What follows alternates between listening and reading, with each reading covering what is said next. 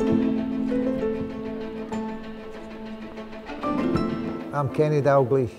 I'm going to be taking a rapid COVID-19 test and the results will be uploaded to my V-Health passport.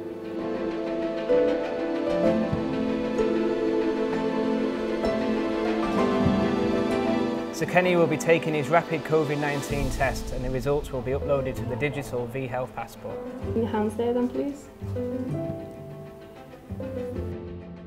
So we're here today to do the rapid antigen and antibody test. The test will show us if Kenny has had coronavirus in the past with the antibody test.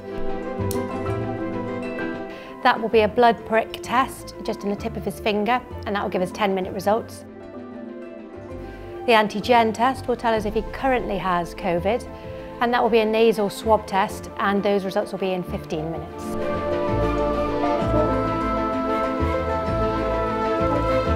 So the V-Health passport is test agnostic. It can work with any form of test, be it rapid test, antigen or PCR test.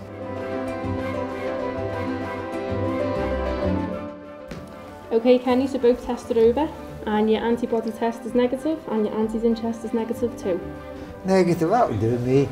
It's getting to a stage now where people are looking to take the next step and the next step is to bring fans in if it's at all safe. The first and most important priority is the safety of everybody. The more readily available your results are, the better. And the more secure the app is, the better it is for the people coming in. Sarah, if you can just send it to my V-Health passport. Yep. look. Look. Hi, I'm Kenny Dalglish, an ambassador for V-Health passport. There you are, pretty ugly. it serves its purpose.